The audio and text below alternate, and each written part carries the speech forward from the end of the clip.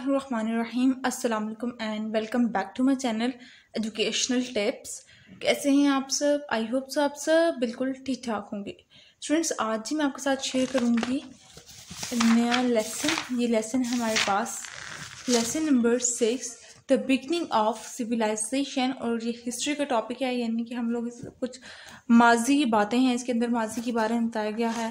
तो आज हम मैं आपके साथ आपके साथ इसकी पूरी की पूरी एक्सरसाइज का सोल्यूशन शेयर करूँगी। तो आप खोल लीजिए पेज नंबर फोर्टी फाइव बहुत हमारे यहाँ समझा जाता है हिस्ट्री को इतना मुश्किल समझा जाता है। और हम लोग सच्ची बात बताओ ना तो मुझे भी बहुत मुश्किल लगता है। लेकिन अगर आपके पास कोई ट्यूटर या कोई ऐसी टीचर अच्छी मिल जाए आप लोगों कि जिसको हिस्ट्री पढ़ाने का एक सलीका होता है, ठीक है? एक कहानी बना के जो सुना, दी जाए हिस्ट्री कोई कहानी की सूरत में आप लोगों को कोई बात बता दी जाए तो वो हमें ऑब्वियसली हमारे जहन निशन इतनी अच्छी तरह से हो जाती है कि हमें भूलती नहीं है।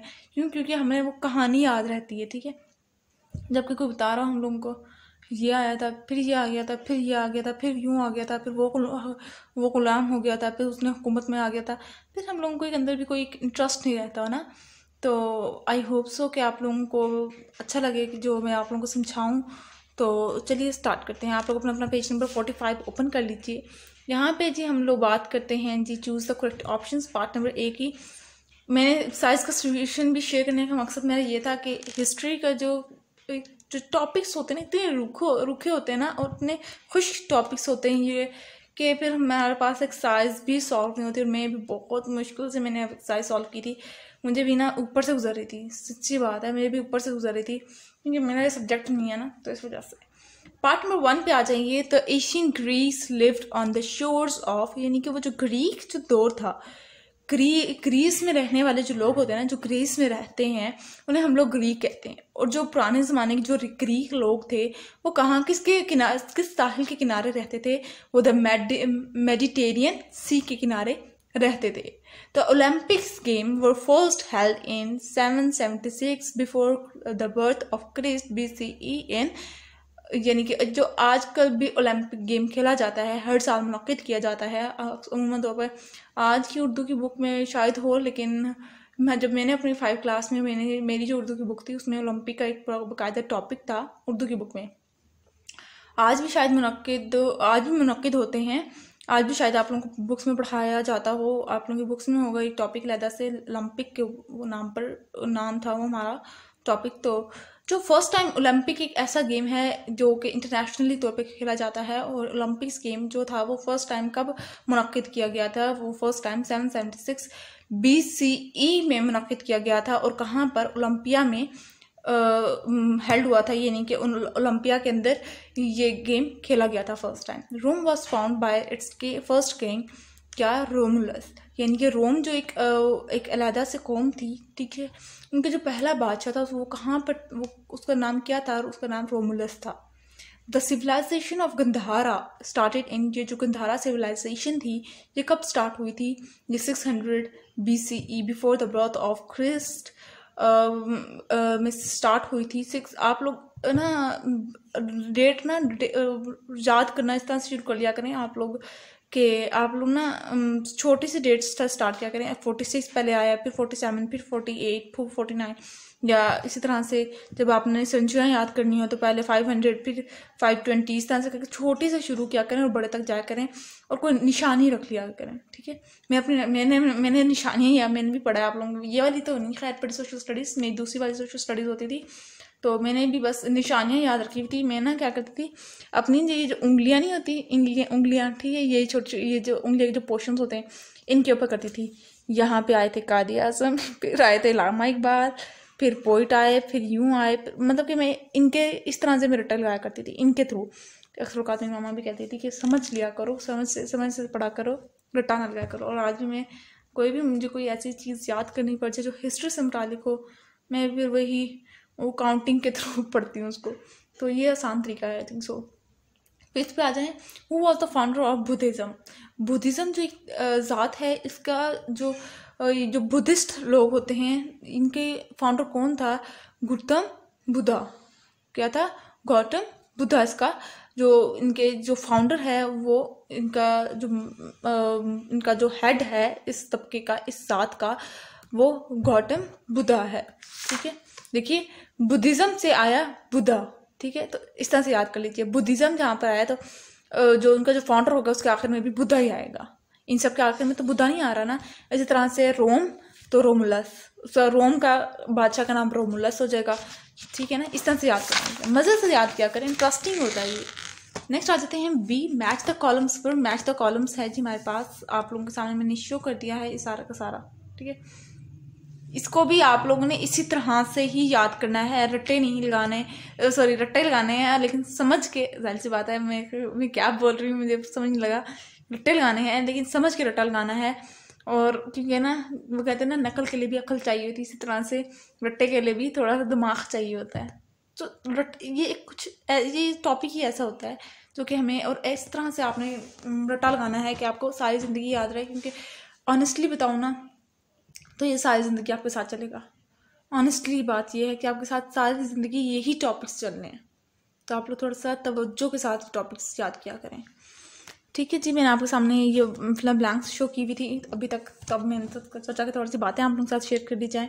अब मैं आ जाती हूँ सी पार्ट पर। तो सी पार्ट है answer the following question briefly question number one है हमारे पास name two Asian Greeks cities of the Greek civilization आपने हम लोग आपने बताना है उन लोगों को कि जो ग्रीक सिविलाइजेशन के अंदर जो एशियन सिटीज़ थे सिटीज़ के नाम, दो सिटीज़ थे, वो कौन कौन से थे, उनके बारे में थोड़ा सा आप बता दें।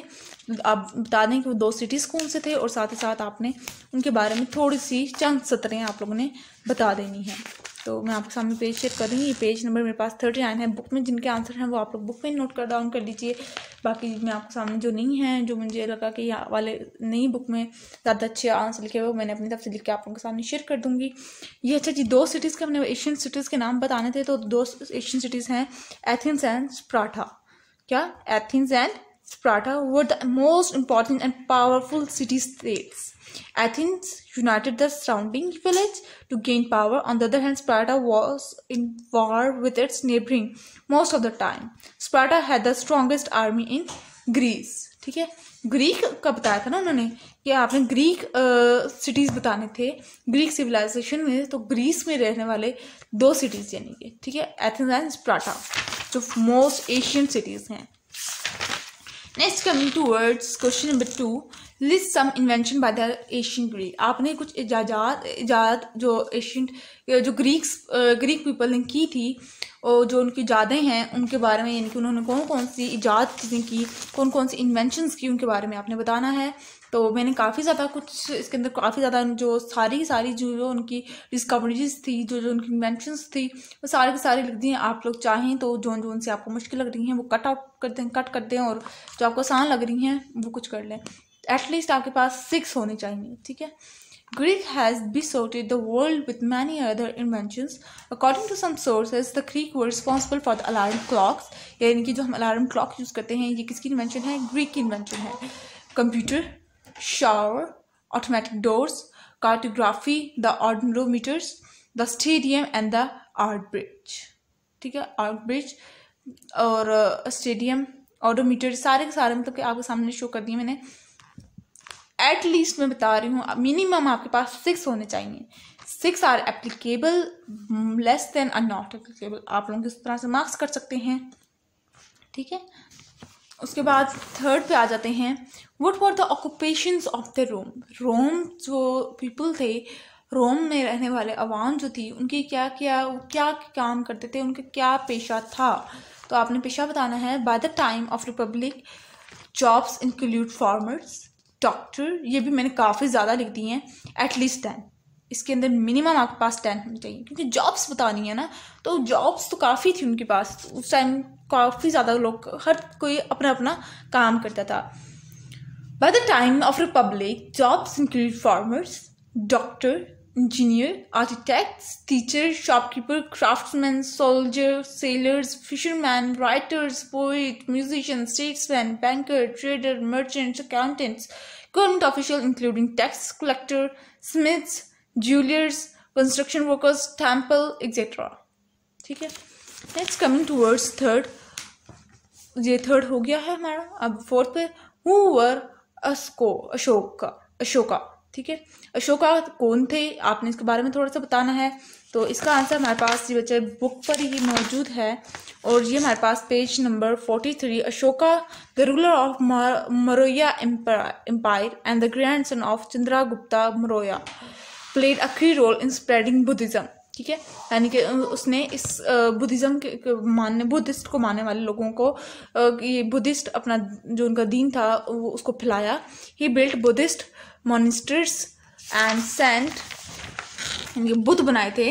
And send religious leaders to spread the religion in Asia यानी कि उन्होंने फिर कुछ ऐसे लोग आवाम को भेजा, जो कि इस बुद्धिस्ट जो ज़ात, ये जो दीन है जिनका, ये जो बुद्धिस्ट मानने, को मानने वाले हैं, जो पूजा वगैरह करते हैं, जो इस दीन को फैलाए, ठीक है?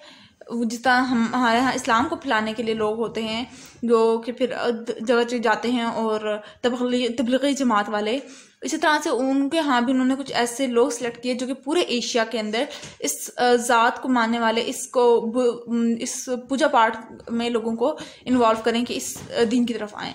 He engraved Buddhist messages on passage minarets and mountains. During this time, Buddhism spread in Tibet, China, Mongolia and Japan. अब जब ये स्टार्ट कहाँ से हुआ? ये कहाँ कहाँ फैलना हो शुरू हुआ? फिर ये सबसे पहले तिब्बत में फैला फिर चाइना फिर मंगोलिया और फिर जापान में। मतलब ऐसा ऐसा करके ये फैलना शुरू हो गया। Gandhara was destroyed by the White Huns from central Asia in the fifteenth century ठीक है जी? यहाँ तक आंसर है इसका सेंचुरी तक का। उसके बाद आ जाते हैं फिफ्थ पर। What do you know about Gandhara art आप गंधारा आर्ट के बारे में क्या जानते हैं? इसका हमारे पास ये पेज नंबर फोर्टी फोर पर आंसर है। पेज नंबर फोर्टी फोर पर आ जाइए और ये आखिरी पूरा पैराग्राफ होगा। Gandhara art is the famous all over the world Gandhara was ruled by different parts there for its art include the influences of Greek Scythian Iranian and Indian civilization, the people of Gandhara used to make stones and stand statue of Buddha. ठीक है? बुधा यानी कि वो लोग बुत बनाते थे। बुत बनाते थे किसके? स्टोन से और सैंड से बुत बनाते थे और जिनकी वो पूजा करते थे। They all carve image of Buddha on rocks building and monasteries remain of the famous Buddhist monastery in Takht-i-Bahi Mardan still exist today यानी कि उनके जो जो जो घर हैं जहाँ पर ये ऐसी जगह हैं जहाँ पर ये लोग अपनी इबादत करते हैं, वो आज भी मौजूद हैं। कहाँ कहाँ पर है? वो तख्त भाई पर मतलब कि एक जगह का नाम है और एक मर्दान, जो कि खैबर पख्तूनख्वा में वाक़ है, यहाँ पर आज भी इनकी वो जगह हैं जहाँ पर वो इबादत करते हैं। ठीक है? अब तो खैर अब हर जगह ही बुद्धिस्ट हैं। ये तो स्टार्ट तिब्बत और चाइना वगैरह और जापान से हुआ था, लेकिन अब हर कंट्री के अंदर आपको हर तरह के के मज़हबों को मानने वाले मिलेंगे। डी पे आ जाते हैं। डी पोर्शन पे answer the following questions in detail question number one है what do know about Roman architecture आप रोमन आर्किटेक्चर के बारे रोमन आर्किटेक्चर के बारे में क्या जानते हैं, वो आपने बताना है तो ब्रीफ कहा था तो देख लीजिए, फिर मैंने आप लोगों के सामने ब्रीफ कर दिया है। लेकिन ये भी मैंने आप लोगों के मुताबिक लिखा है, यानी जो आसान आसान से वर्ड्स में लिखा है। उम्मीद करती हूँ आप लोगों को आसान लगेगा।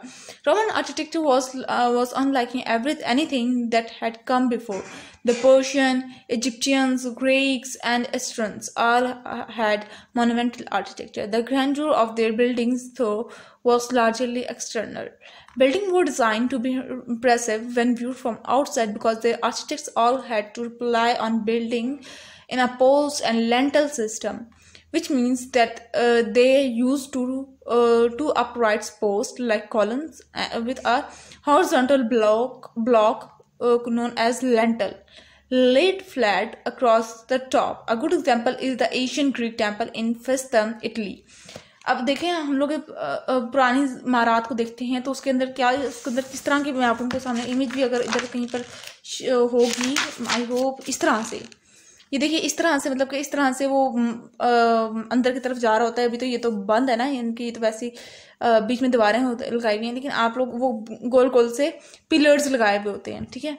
जो अगर हम लोग पुराने घरों को देखें पुरानी इमारात को देखें तो जब हम रोम आर्किटेक्चर की बात करते हैं, इनके, उनके जो घरों का स्टाइल था, उनकी जगहों का जो फ़ेमस प्लेसेस का जो स्टाइल था, वो कुछ इस तरह का था। इस तरह का, ठीक है? तो कोलिज्म रोम ये देखिए, ये बनाया हुआ भी है। अच्छा जो इसकी जो एग्ज़ाम्पल आ जाती है ना, जो लोगों की जो आर्किटेक्चर्स हैं जो लोगों की मारात की शक्ला, शक्ल हैं कि किस तरह से, वो हमारे पास इटली के अंदर एक जगह है। आप लोग नेट पे भी सर्च कर लीजिए गूगल पे सर्च कर लीजिए, आपके सामने पिक्चर्स भी आ जाएँगी। मैंने फेस्तम उस जगह का नाम है और जो कि इटली में वाक़ है। आप लोग गूगल पर सर्च करेंगे, आप लोगों को उस इनकी फ़ेमस जगह का आप लोगों के सामने पिक्चर्स भी शो हो जाएँगी। आप लोगों को पता चलेगा कि पुराने ज़माने की जो बिल्डिंग्स हैं ना, उनकी अपनी स्पेशलिटी होती है। क्वेश्चन नंबर टू पे आ जाते हैं compare Greek Rome and Gandhara civilization अब आपने बताना है कि ग्रीक रोम और गंधारा सिविलाइजेशन में तीनों में डिफरेंस करना है। मैं आप लोगों को बता देती हूँ डिफरेंस का पैटर्न क्या होगा। उसके मुताबिक ही आप लोग कर लीजिएगा। अब हम लोग ना हमेशा क्या करते हैं हम लोग हमेशा दो चीज़ों के दरमियान डिफरेंस करते हैं। जिस तरह से फॉर एग्जांपल हमें कह दूँ ग्रीक और रोम ग्रीक और रोम इन दोनों के दरमियान मैंने रोमान के दरमियान मैंने डिफरेंस करना है। लेकिन अब इन लोगों ने या का, क्या कहा हुआ है? Compare Greek Roman and Gandhara civilization इन तीनों सिविलाइजेशन के ऊपर आपने डिफरेंस लिखना है। तो गंधारा भी आ जाएगा। D A R A Gandhara ठीक है? यहाँ पे लाइन लगाएँगे। एक पॉइंट इसका सेम पॉइंट इधर इधर और एक पॉइंट इधर। अगर आप ये बता रहे हैं कि ये सिविलाइजेशन इस इस सेंचुरी में स्टार्ट हुई थी तो रोम में भी आप ये बताएँगे कि ये सेंचुरी इस, ये रोम रोमान सिविलाइजेशन इस सेंचुरी में स्टार्ट हुई थी और इधर भी यही बताएँगे कि इस डेट को स्टार्ट हुई थी या इस सेंचुरी को स्टार्ट हुई थी। एट लीस्ट आपके फाइव पॉइंट्स होने चाहिए। कितने? एट लीस्ट फाइव पॉइंट्स होने चाहिए। और फाइव पॉइंट्स किस तरह से बनाएँगे? आप लोगों के पास, मैं आप लोगों के सामने से शेयर नहीं किया आप लोगों के साथ, क्योंकि देखिए, आप लोगों के पास यहाँ पर ऑलरेडी मौजूद है। यहाँ पर जी हमारे पास ग्रीक मौजूद है। Yes this is the one Greek civilization यहाँ से पॉइंट इकट्ठे करें, उसके बाद फिर रोमन रोमान सिविलाइजेशन ये स्टार्ट हो जाएगी।